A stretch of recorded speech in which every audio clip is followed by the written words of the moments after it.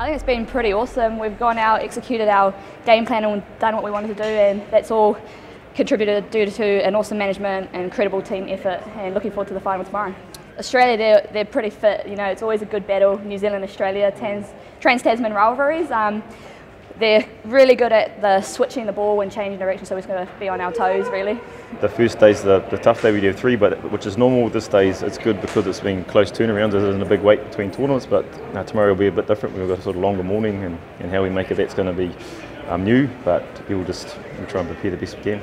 Yeah, that's actually quite different. We've never done a 3 2 1 format before, and this being the first time, I think all the girls are really excited actually about it. It gives us a good night to really recover, um, reassess, have a look to what we're going to want to do tomorrow.